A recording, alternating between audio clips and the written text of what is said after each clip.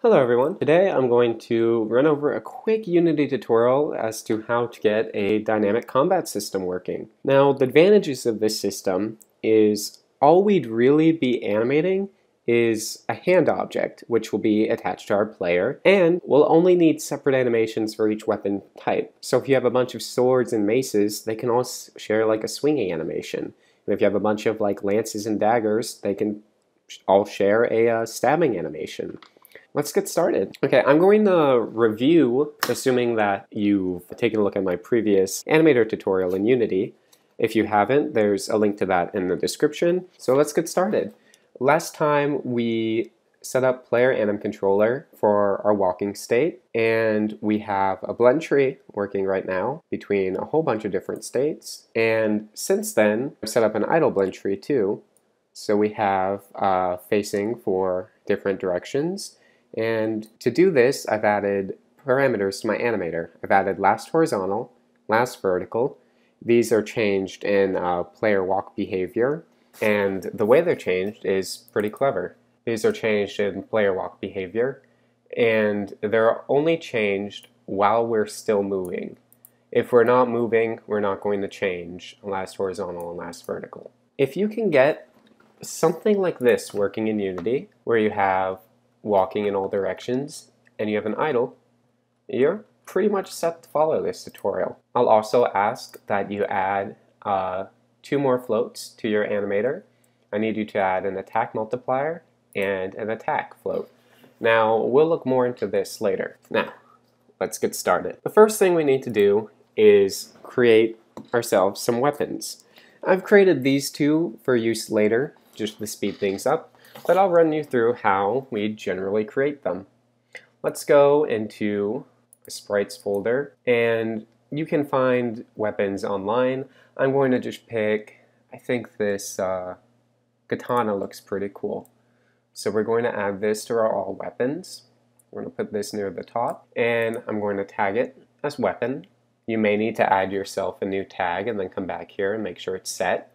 Um, I'm going to go to the scene and check if this katana is visible. It doesn't look like it is, so I'm going to sort this on a new layer, which should be above the layer where your character is. My character is on the gameplay sorting layer, so I added an above and a below character sorting layer. Please add both an above and below character sorting layer and lay it out like this.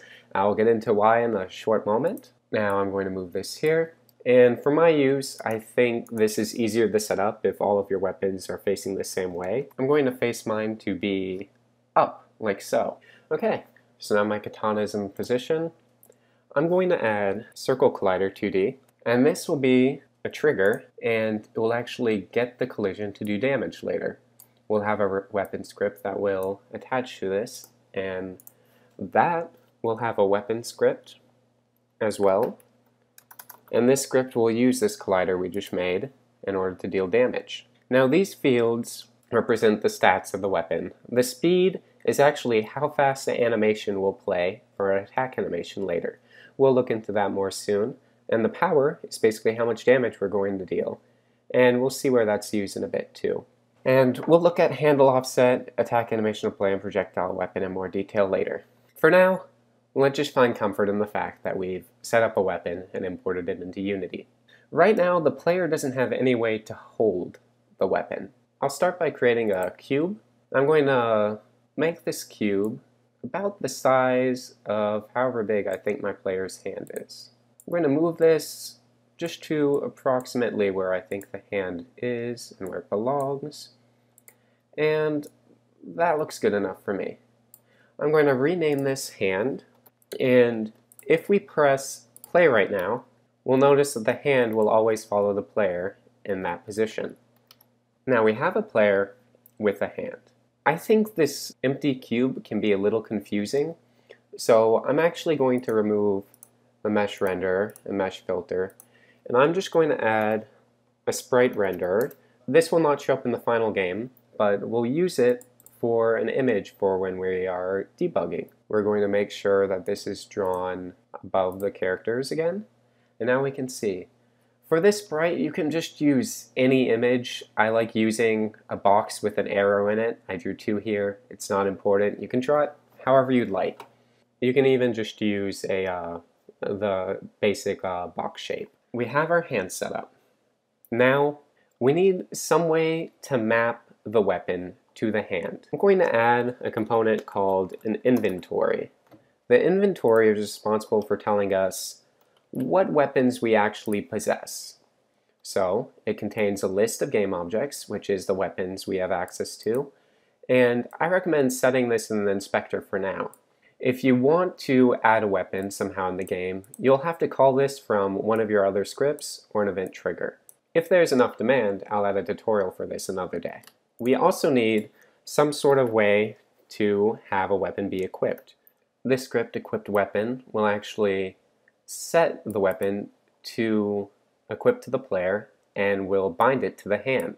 And it will get the weapon from the inventory we have. Equip weapon is called on start and equipped weapon will basically find the weapon of that index, so the first weapon we have, and we will set it to be the child of hand and we'll make sure that the local position is 0 and we'll use an offset so that if the handle doesn't quite line up, we can just move it around, make sure it's active, and we have a way to uh, set up UI. Now, if you don't want to set up UI, you can just comment these out. I'm going to uh, create a new UI image in the canvas. Now, an image is basically a sprite that is rendered on the canvas. So, I'm going to move my image. I'm going to change this to stretch and I'm going to move this image all the way up here. That looks about right for me. And as a default, I'm just going to set it to the katana. And I'm going to rename this equipment UI. Now, if we go back to the player, we can go to our equipment script and we can set this to equipment UI. You may be tempted to change what equipped weapon is right here. You don't actually have to, uh, and it won't really do anything. This is just a way for you to see when debugging what weapon is equipped. So feel free to leave this one empty. Okay, we've added the UI image. Now let's play the game. Let's see if this weapon actually maps to our hand. As you can notice, we got a crash right here. Unfortunately, right now Unity is looking for a weapon and it can't find one because there's no weapons in our inventory. I'm going to say our weapons list is of size 1 and I'm going to add the katana we just made into it. Now on start we should have this katana equipped. As you can see the weapon's equipped and it's mapped to the hand. But you might notice it looks a little bit off. For the first part, let's focus on the fact that we are holding it by the blade instead of the handle. I'm going to play this in a minimized play. That way I can change values in the inspector. So let's go to the hand. As we can see, our katana is parented to it, and it is a clone of the katana in all weapons. We also can disable this as well. And as we can see, this katana is a clone of the katana in all weapons. Now we can actually edit the offset here. I think it's a little low. Let's try moving up to 4, too high, 2, too low, 2.5. 2.5 is still a little low for my liking. Let's try 3. 3 looks about right for me. You could also move the X around too, but personally, I think this looks okay. So I'm going to recall that this is 3 right now. So I'm going to copy it I'm going to paste it into the katana here. And the reason why we have to do this is because you can't save anything at runtime in Unity. We can also disable this so it's not in the scene while we equipped our weapon. But there's one other issue. We want the sword to stay in our hand when we move. So we're going to actually need to move this little hand sprite out to approximately where we think the hand is. That way the weapon will follow the player. So let's get started let's go into our idle animations to start. I'll start with idle left. Now, if we press play, we'll enter that animation. I quickly paused it. I'm going to press record. I'm going to select the hand object. I'm going to use the move tool to move it to where I think the hand should be. I actually think this is perfect for left. So in order to leave it the same without moving it, you can just barely change one of these values. So add a 1 here, and backspace. Now we'll notice that hand position is something that is changing with our animator. Now let's go to idle right.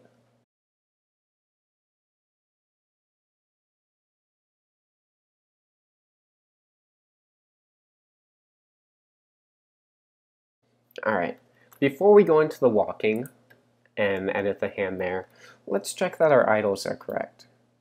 It's in our right hand, it's still in our right hand, in our right hand, and it's in our right hand. Alright, now let's go set this up for walk animations. I'd recommend for following this tutorial, only worry about the first frame for the walk animation. It will save you a lot of time. So I'm going to play this animation.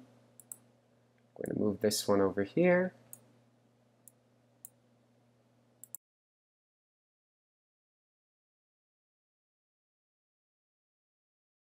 Okay, and there's one more thing we want to do uh, for our movement to look clean, and that is we want to tag our hand as hand.